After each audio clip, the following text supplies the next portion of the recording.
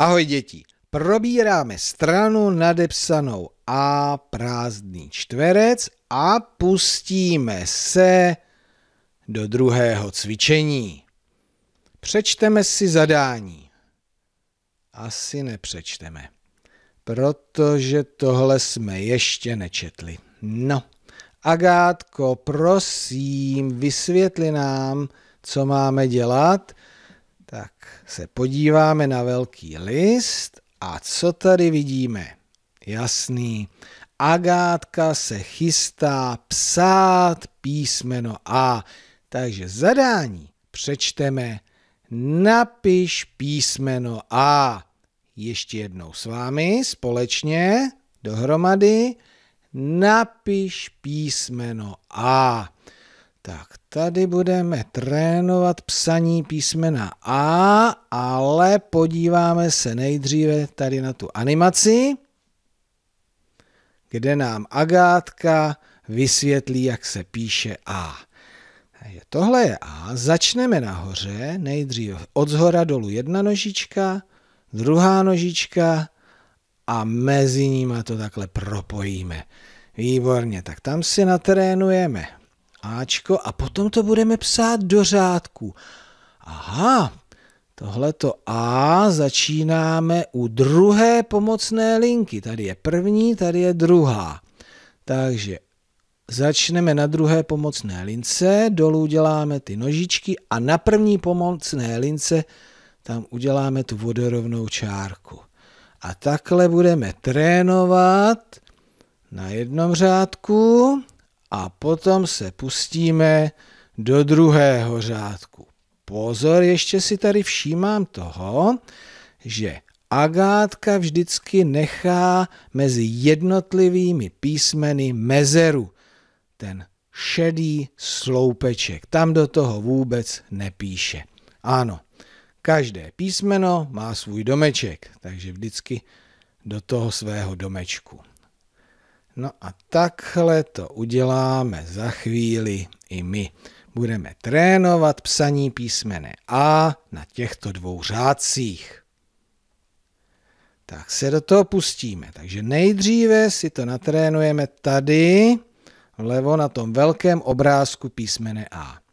Možná, že byste si mohli vzít různé pastelky a postupně barevně si to vyzkoušet. Tak jak to děláme? Od zhora dolů jedna nožička, druhá nožička a přetrhnout prostředku jinou barvou.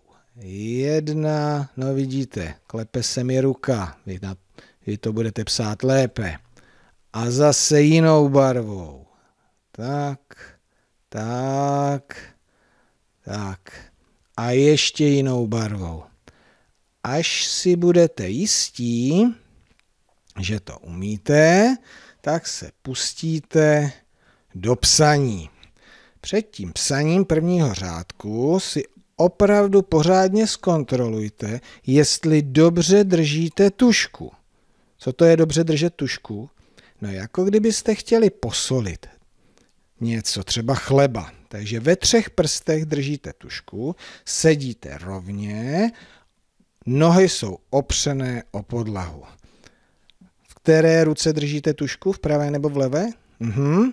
Tak ta druhá bude pod tou rukou držet, přidržovat ten sešit. Tak, srovnejte sezení a pustíme se, nebo já se pustím do psaní. Vy chvíli počkejte, potom si přerušíte video a zkusíte si to napsat sami.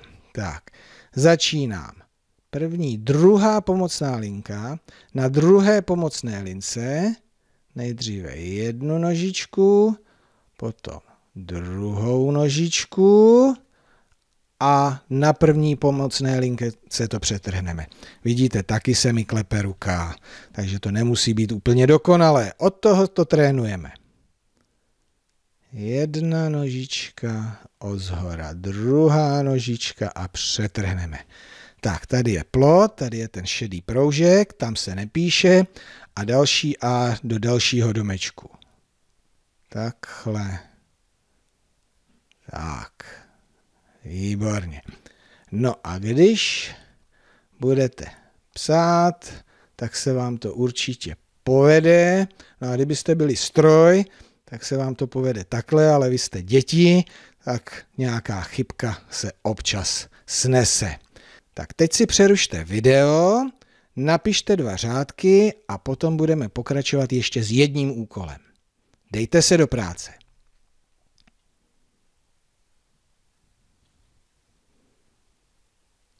Výborně, máte hotovo, takže nyní si připravte před sebe nějaký papír. Já si připravím tabuli a já si vezmu křídu a vy si můžete vzít klidně pastelky. Co tady budeme dělat? Uděláme si vlastní myšlenkovou mapu písmene A. Když už to A umíme napsat, takže tak, tak, tak, tak to použijeme. Takže co všechno může začínat písmenem A? Která slova? Tak mě napadá skleněná nádoba, ve které je voda a plavou tam rybičky. Co to může být? Výborně. Akvárium. Začíná na A. Nebo jsme se učili název takové květiny. Kdo si to pamatuje? Taková střapatá. Mhm, už to slyším. Astra. Nebo ještě něco je na A. Dům ne, to ne. Ale na tom domě bývají takovéhle dráty. Na televizi chytá se s tím při, aha no, anténa. A nebo také lidé mohou mít jména na A. Tak třeba tahle ta holčička se může jmenovat Alenka. Takže další slovo na A. No a když tady máme holku, tak přidáme i kluka. A ten se může jmenovat Adam. Výborně. Takže tohle je můj návrh myšlenkové mapy na Ačko, ale vy určitě dokážete namalovat další věci, jejichž slova začínají písmenem A.